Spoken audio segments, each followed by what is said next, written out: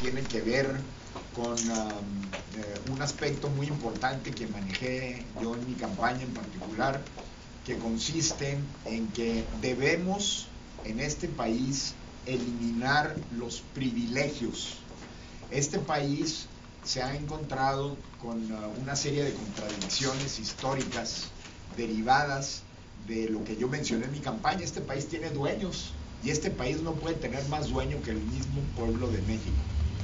Y para dar, uh, para dar la pauta, los legisladores del Partido de Acción Nacional están proponiendo que los primeros que tenemos que eliminarnos los privilegios somos los legisladores, somos los servidores públicos.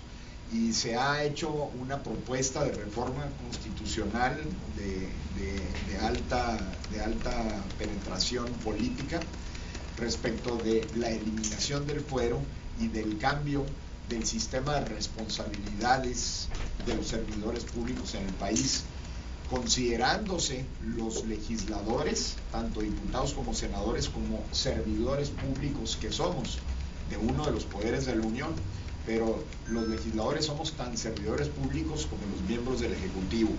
En las tres instancias de gobierno, en el gobierno federal, en el gobierno estatal y en el gobierno municipal.